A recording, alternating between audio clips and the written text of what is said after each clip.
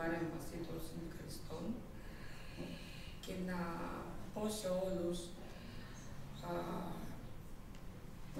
ευχαριστώ πραγματικά από την καρδιά μου, από όλα τα κύτταρα του σώματός μου για όλη τη στήριξη και βοήθεια και προσοχή που μου έχετε δώσει τον πρώτο χρόνο όταν ήμουν στο νοσοκομείο.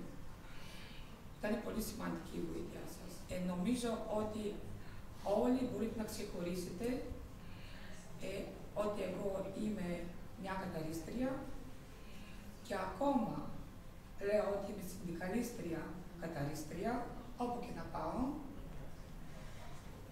Και η δουλειά μου είναι ότι αυτός ο κλάδος που έχει μείνει χωρίς ρύθμιση, χωρίς αναγνώριση, πρέπει να είναι ρυθμισμένος. Οι συμβάσεις εργασίας που έχετε σιγά σιγά προχωράνε, είναι βέβαιο αυτό.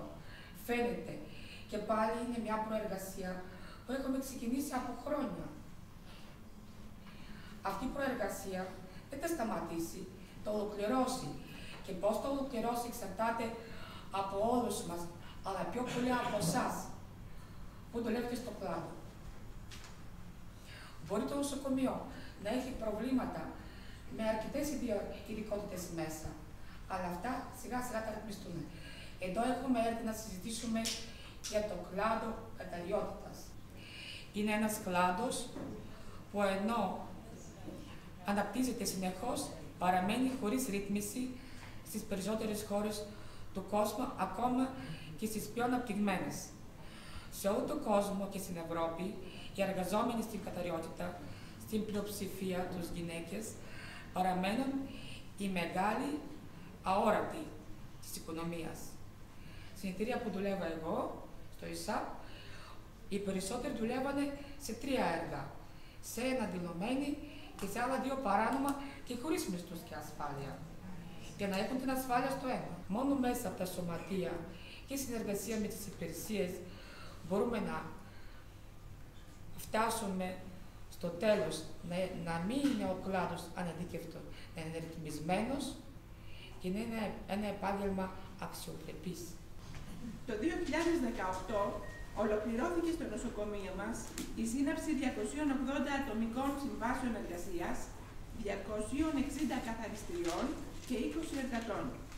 Η συντριπτική πλειοψηφία των οποίων αφορά σε πρόσωπα που απασχολούνταν μέχρι πρόσφατα στο άθλιο καθεστώς των εργολάβων καθαριότητας. Η εξοικονόμηση χρημάτων υπήρξε το κίνητρο στην νομοθετική ρύθμιση που έκαναν οι Υπουργοί Υγείας, ο κύριος Ξανθός και ο κύριος Πολάκης και έτσι μας επέτρεψαν να προχωρήσουμε στην πρόσληψη 115 ατόμων επικουρικού προσωπικού διαφόρων ειδικοτήτων, πλην γιατρών, που έτσι βοηθούν το νοσοκομείο ώστε να, να συνεχίσει να προσφέρει τις ποιοτικές και ασφαλείς υπηρεσίες προς τους πολίτες, καλύπτοντας με αποτελεσματικό τρόπο τις υγειονομικές τους ανάγκες. Ενώ μέχρι πρόσφατα η αναλογία προσωπικού καθαριότητος δεν υπερεύαινε το ένα με δύο άτομα στη βάρδια με, με τους εργολάβους, σήμερα έχει αυξηθεί αυτό το ποσοστό και έχουμε κατελάχιστον δύο με τρία άτομα σε κάθε βάρδια. Θέλω να σας διαβεβαιώσω ότι έχουμε πάρει απόφαση Διοικητικού Συμβουλίου για την παράταση άλλων 12 μηνών των ήδη υφισταμένων ατομικών συμβάσεων και γίνονται όλες οι ενέργειες που απαιτούνται για να μην βρεθεί κανένα εμπόδιο στην υλοποίηση των οραμάτων και σχεδίων μας με απότερο σκοπό την μελλοντική εξέλιξη σε συμβάσεις αορίστου χρόνου των ατομικών συμβάσεων. Έχω ρωτήσει τον εργολάβο να μου δώσει ένα χαρτί, γιατί π.χ. θέλω κάποια στιγμή να πάω στο εξωτερικό. Ναι. Γαλλία, οπουδήποτε. Και θέλω ένα χαρτί να τους δείξω ότι έχω δουλέψει 10 χρόνια στα χειρουργία. Ο εργολάβος δεν μου δίνει χαρτί. Μου λέει πήγαινε πάρει το από το νοσοκομείο. Το νοσοκομείο λέει εμείς δεν έχουμε σχέση γιατί ήσουν στο εργολάβο. Εγώ δεν μπορώ να το αποδείξω τώρα ότι έχω δουλέψει καν στο νοσοκομείο πουθενά. Δηλαδή έχω εγώ δουλέψει στην ε, Αριάνθη σαν καθαριστής όπου να είναι. Έχω χάσει 13 χρόνια από τη ζωή μου έτσι, κατά τύχη, ενώ μεταξύ έχω δουλέψει. Πώς μπορώ να το αποδείξω αυτό; Ε, όταν έχεις τον τίτλο, όταν έχεις πιστοποιηθεί για τη γνώση αυτή που και για τα, για τις, για τα καθήκοντα που ασκείς επί 10 χρόνια, έχεις πιστοποιηθεί από ένα φορέα, από ένα εξοδοτημένο φορέα πιστοποίησης, δεν έχεις ανάγκη τον, εργοδο, τον εργοδότη να σου... Αυτό έχει γίνει ή θα γίνει, γιατί δεν, δεν το καταλαβαίνω. Δυστυχώς ακόμη στη χώρα μας δεν έχει γίνει. Παρ' όλα αυτά εγώ... Γι' αυτό κάνουμε τη συνάντηση Ψάχνοντας, σήμερα. ναι, ακριβώς. Ξεκινάει η κουβέντα. Ακριβώς. Ξεκινάει, ξεκινάει η κουβέντα. Έχω κάνει το εξής. επειδή σας είπα ότι πρώτο βήμα και πρωταρχικό είναι να οριοθετήσετε ποιες είναι οι βασικές και επιμέρους δραστηριότητες της δουλειάς σας. Τι κάνει μια καθαρίστρια; Το να είσαι καθαρίστρια στα νοσοκομεία πάντως, να ξέρετε ότι δεν είναι καθόλου εύκολη δουλειά. Αυτό που κάνουμε χρειάζεται σαφώς με εμπειρία, γιατί δεν μπορεί με μια μέρα εκπαίδευση όπως γινόταν επί εργολάβου, πάρε το τμήμα, δούλεψέ το, δεν ξέρεις πού να μπεις, πού να βγεις. Ε, Και αυτό γινόταν δυστυχώς. Ε, και είναι και το νομίζω και το πιο σημαντικό το να, να έχεις εμπειρία. Διότι ξέρουμε ότι έχουμε να κάνουμε με θέματα υγείας, δεν είναι με, με ανθρώπινες ζωές σαφώς. Ε, αρκεί να παίρνουμε... Και η δικιά μου σαφώς. Και η δικιά μου, εγώ που δουλεύω 16 χρόνια εδώ, στην ίδια κλινική σε παθολογική, έχω υποστεί τα πάντα, αρκεί να παίρνεις τη δουλειά σου στα σοβαρά. Γιατί υπάρχει και αυτό, να μην την παίρνουμε στα σοβαρά.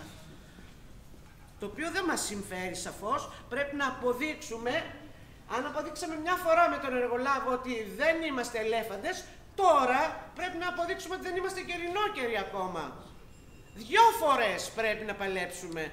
Αν θέλουμε να διεκδικήσουμε αυτό που πρέπει να έχει ένας άνθρωπος σταθερή δουλειά, τι θέλουμε.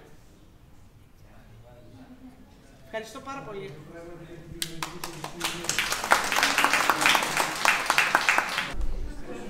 Γεια σας. Με λένε Ελένη Ροδίτου. Είμαι καθαρίστρια στο Μεταξά πάρα πολλά χρόνια. Είναι τιμή μου που είμαι καθαρίστρια. Δεν είναι ντροπή να είσαι καθαρίστρια. Είναι συνειδητοποιημένο άτομο. Δουλεύουμε μέσα σε κίνδυνο. Προσπαθούμε να κάνουμε το καλύτερο. Καταρχήν θέλω να ευχαριστήσω τη διοικήτρια γιατί όταν ήρθαμε μας αγκάλιασε κάτι που δεν το είχα δει στο Μεταξά ποτέ. Ε, έχουμε ένα υπέροχο προϊστάμενο. Μας σέβονται, μας υπολογίζουν ανθρώπους και όχι έχει ανεβεί ο μισθός μας από τους εργολάβους.